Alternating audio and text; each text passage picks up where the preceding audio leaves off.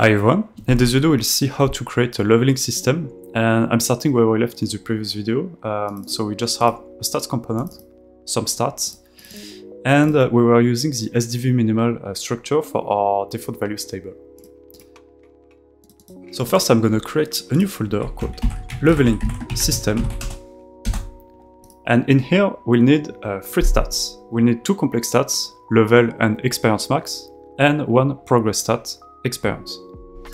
So I'm gonna create a complex stat called level and create another one called experience max. And I'm gonna quickly fill the info. So the ID will be experience max, uh, the display name maximum experience, and for the value sets manager, um, we don't really need a multiplier for our experience max or level stats. Uh, we could still use the VSM default and choose just not to use the multiplier, but we could also create a new value sets manager. So I'm gonna create a new blueprint class from the value sets manager class and call this one VSM for value sets manager underscore no multiplier. And I'm just gonna add the VS regular uh, value set. So uh, now I can use my VSM no multiplier for my uh, experience max and do the same thing for the level and fill the ID and the display name. So now we have experience max and level and now we can create a new progress stat experience. So the ID will be experience, the display name experience as well.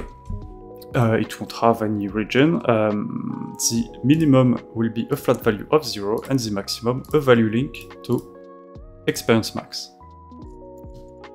So now we can add our stats to our default values table. So I will go back to our default values. And just to make it simpler, I'm gonna create a new row called leveling system and I will add experience max starting at 10 and as a progress stats experience uh, starting at 0. Don't add the level directly in here uh, because we're going to go back to our stats component. We will add the level directly in the load default values function in our stats component. So I'm going to select our level stat. It will start at 1. And for the uh, default values name, so the row we're going to load, I will choose leveling system. We're using the debug stats component widget inside our character, and also I'm gonna add a way to increase our experience. So I'm gonna use stats modify value on experience and increase it by 5. So now we can hit play, we can see we have our free stats. Uh, right now it doesn't do anything, if I press C I can increase the experience, but it doesn't increase the level right now. So we'll need to add some logic and we can do this directly inside our experience stat. Uh, we'll use begin play, so on begin play, on reached maximum. So whenever we reach the maximum value, which is experience max, so I'm going to call this event on reached experience max,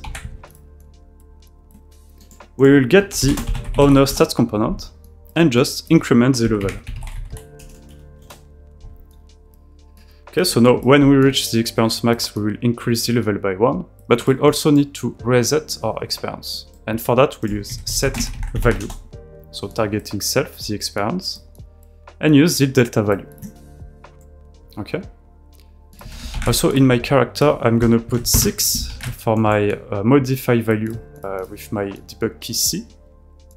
And now if I press C, uh, so now if I press C again, it should go to 12, so reset to 2, and increase the level by 1.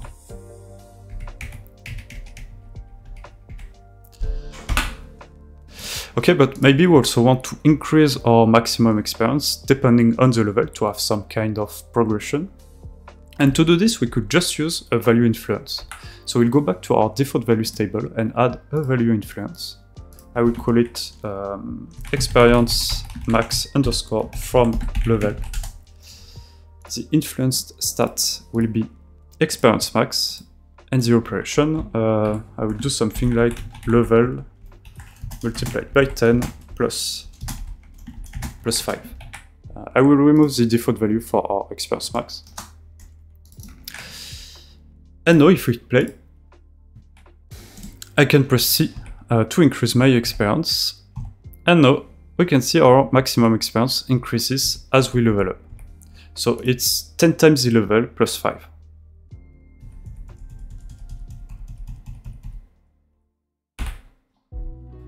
So similarly, you could use uh, value influences uh, to create some kind of progressions for your stats. So if we added, for example, constitution uh, with a value of 10, if we wanted to increase it uh, depending on the level, we could just add a value influence.